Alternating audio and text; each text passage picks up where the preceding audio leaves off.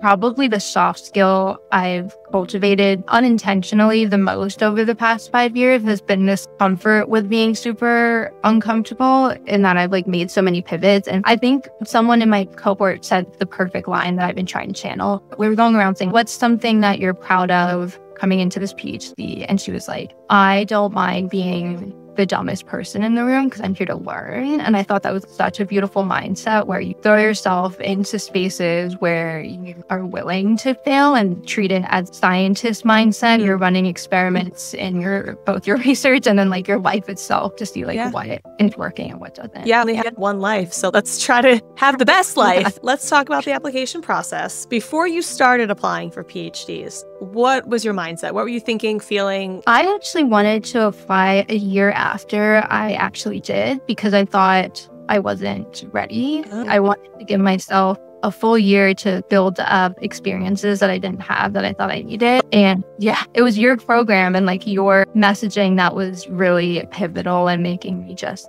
go for it. So I'm very grateful for your push and just like okay. feeling again like kind of confidence for what I have.